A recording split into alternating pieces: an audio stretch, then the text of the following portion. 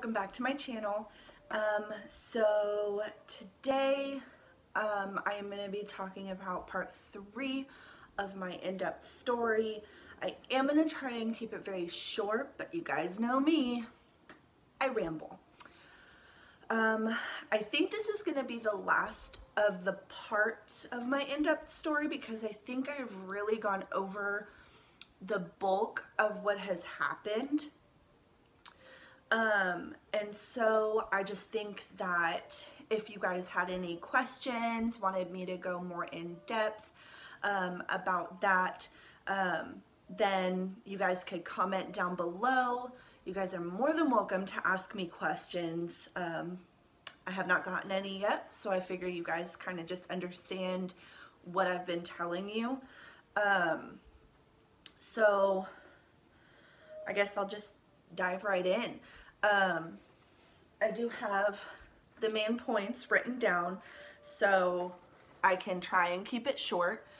Um, so if you guys see me looking down, that's why. Um, so this is going to be the criminal side of the story. Um, so you guys know that Jonathan and I, in November of 2017, got arrested um, for suspected child abuse. At that time, they decided to charge us with one charge of felony corporal injury to a child.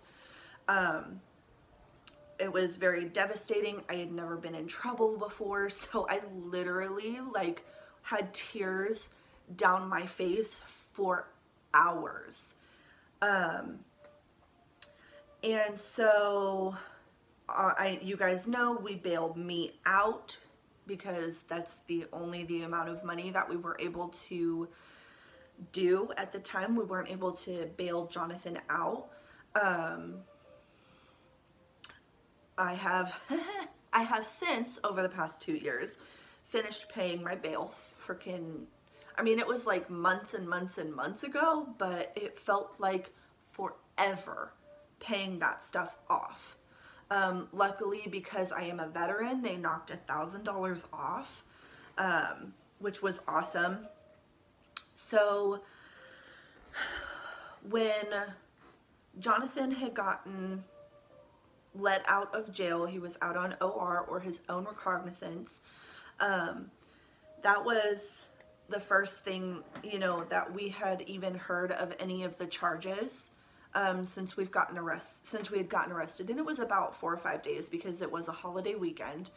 Uh, and then we didn't go back to court until December of 2017.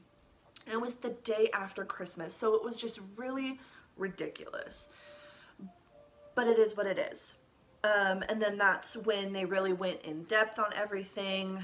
Um, I had gotten put into this law center um, and had not gotten my lawyer yet so they asked for a continuance just to put it off um, until I had talked to my lawyer. Um, so that was like a whole nother month or two that we had had to wait. Um, and then after that the DA kept putting things off and putting things off. They ended up adding a second felony charge of child abuse, um, corporal injury to a child. And when we had said something about it, we had said, okay, well, we told the police that this is what happened. This, we, we didn't hesitate. So it was like, I don't know. But they decided to say that a picture was, we were conspiring to commit child abuse because I didn't want to put my daughter in a short, uh, a long sleeve shirt in the summer, and I also didn't want people to get the wrong idea of this bruise. Um, Jonathan had caught her from falling and hitting her head on something and unfortunately had left a bruise. He felt really bad about it, you guys, and he had told his lawyer this. So both lawyers had fought really hard to get just that, you know, just completely off, you know, just to get it dropped.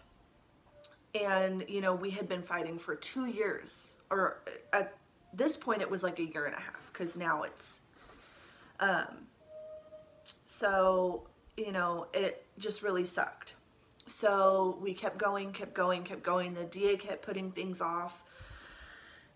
We prepped for trial two times And they were six months apart from each other, uh, just about six months apart from each other. And it was just really ridiculous. So they, the DA put all of their stuff in evidence. We had that hearing. That was their prep for trial. Um, and we did that twice. So it was just really ridiculous. And at this point, it was, you know, almost, you know, because we've been dealing this for over two years now. Um, it's January of 2020, and Emma was removed in November of 2017. So we're going on this this November will be three years. Um, so you know the DA just kept putting things off, looking for more evidence because she knew she didn't have a case. And when the DA a few months ago had finally was like, okay, we'll drop the one charge completely and knock down the second charge to a misdemeanor, it had been almost two years. Um, so, you know, it was just like, why, why now?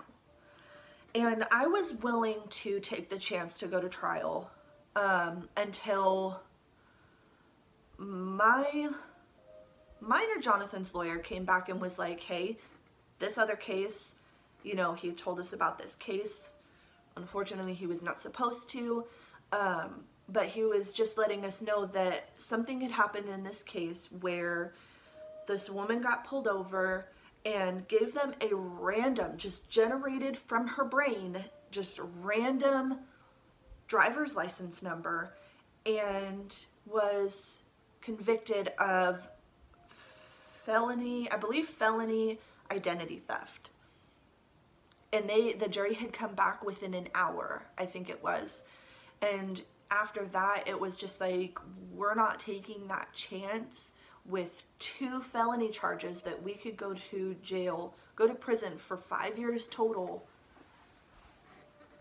eh, because at this point, you know, we had our son and we were just not willing to take that chance. I still think a little bit that we could have won and gotten these charges completely dropped. Um, but I have to think about my kids.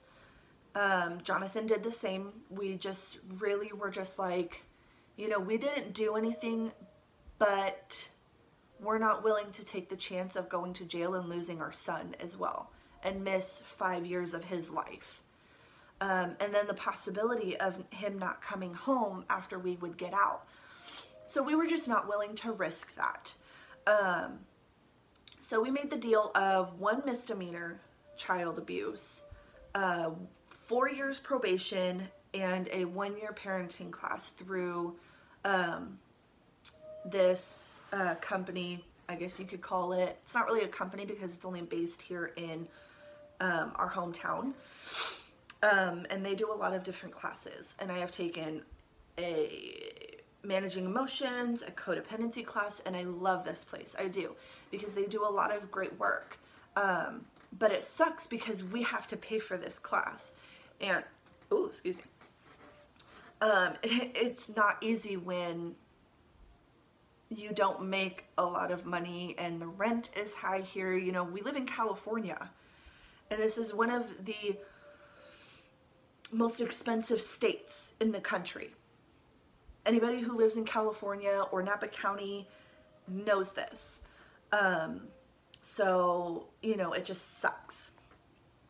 And what sucks even more is after all of this, this is before the termination of rights on the family law side of it. And CPS didn't take this any of this into account. None of it they have been saying that I haven't been changing, all of this other stuff that, you know, I'm just this rigid, cold person. Anybody who really knows me now knows that is not true, especially with my kids. Especially with my kids. You know, I adore my kids. Um, and they're, they're still trying to terminate my rights. So, you know, it just really sucks. You know, this misdemeanor is going to be off of our record between five and seven years, but it's still on our record. Neither of us have been in trouble with the law ever. You know, Jonathan's gotten pulled over. He used to own this old Camaro and it was so loud and you know, the cops tried to kind of give him crap about it and it just didn't it it didn't work. So, you know, we had never neither of us have ever been arrested, nothing on our record, nothing. Nothing ever ever. And we just thought it was ridiculous. and so, you know, we've been obviously dealing with this for almost 20, November of this year of 2020 will be three years that we have been dealing with this. You guys, I think I've told you that I have an appeal in. Um, after this is all finished, I will do a video of my appeal. I absolutely love the lawyer that I have now. He is such a compassionate lawyer, even though I have not met him face to face. We really only communicate through email. Um, and as far as I can see, he really is trying to make sure that it is guardianship and not adoption when it comes to Emma. So then that would mean for me and for Jonathan that we could take my parents to court and say, you know, we've done this, this, this, this, and this. We want her to come home and say all of this stuff that was not said in all of this CPS stuff, the family law side, all of it, when Jonathan has been doing everything that I have, with the exception of the managing emotions, because we just were not able to afford it. You know, we, ugh, we can barely afford the stuff that we have now you know, and it sucks. If we were living in any other state, we would be fine. I will go into that maybe in another video if you guys want to see it. But we just, we cannot afford California anymore. And it sucks because we have to stay here for at least another year. But it is what it is. Um, so something I forgot to mention in the beginning is if you guys hear like a little music in the background, my son's sleeping. So he's, I have his uh, speaker on in the bedroom, in his room that he sleeps in at nap time. And then we have one in our room, the little, I can't think of the word. Anyway, um, so next week I am going to try and have my friend Cheyenne, I barked a little bit, so that was not a hesitation. I had a carbonated drink earlier. Not good, especially when it gives me like acid reflux and heartburn, it sucks. Anyway, um, next week I'm going to try and have my friend Cheyenne on here um, to tell her story. Um, it is different from mine. Um, so, you know, I'll be asking her different kinds of questions um, and whatnot. So, yeah, I am really excited about it. Um, so, stay tuned for that. If you guys have any questions for me as far as more in-depth stuff, comment those down below. If you guys um, have any CPS content ideas, I'm running a little low on them. So I have to sit and really brainstorm some ideas for you guys as far as CPS content because that's the main you know reason I started this channel. Um so you know yeah, I think that is about it. Um, if you guys, again, if you guys have ideas, comment them. If you guys like this channel, uh, the channel. If you guys like the channel, make sure you subscribe. But if you like the video or the videos that I've been putting them up, hit that like button. Um, or that, I keep saying like button because I've been on Facebook a lot the last couple of days. Hit that thumbs up button. Um, and if you guys don't want to miss any more of my uh, videos, hit that little bell next to the subscribe button and you will get notifications. Um, so yeah, I will see you guys next week.